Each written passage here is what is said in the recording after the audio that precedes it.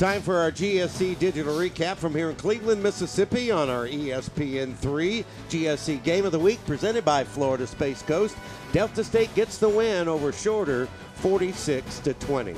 And welcome inside the booth along with Coach Rick Rhodes. I'm Don Russell. Rick, it was back and forth and then it was fourth for Delta State. Really good first half, but then it kind of opened up in the second half as we take a look at the highlights. Yeah, exactly right, partner. Big win for Delta State, and they're going to start out in style.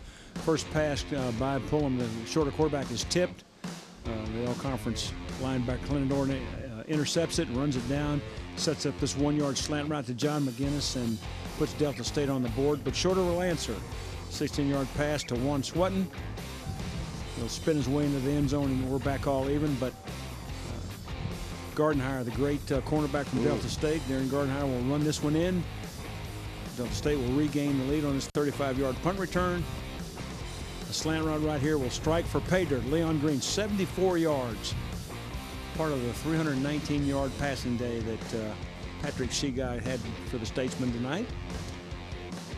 And then a post route to Elijah Gilbert will draw shorter closer, but that's as close as they're going to get. It'll be all Delta State from here on out. This deep pump and go will set up a five-yard touchdown run by uh, Kellen Wilson, and we'll see him bounce it to the outside, take it to the end zone, 28-13 at the half.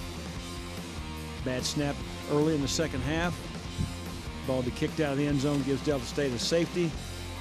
Delta State comes right back with a little play action pass to uh, Tyler Harrell, 20-yard pass to add to the lead, and then Gardenhire with the second score of the night, 73-yard interception return. Shorter will tack on a touchdown late in the game, but the 46-20 will, will be the be the final score. Stats are, are pretty close, uh, but uh, you know the big thing there are the turnovers. And the other thing is, is that in the third quarter, Delta State completely shut down the shorter attack. Only 23 yards total offense in the third quarter, and that's when Delta State's able to pull away. And, and the result is a big, uh, big win for Delta State. Yep, Delta State gets the win over Shorter here in Cleveland, Mississippi on a rainy night, but a winning night for the Statesmen here at McCool Stadium. That's our GSC digital recap on this Thursday night game in the GSC.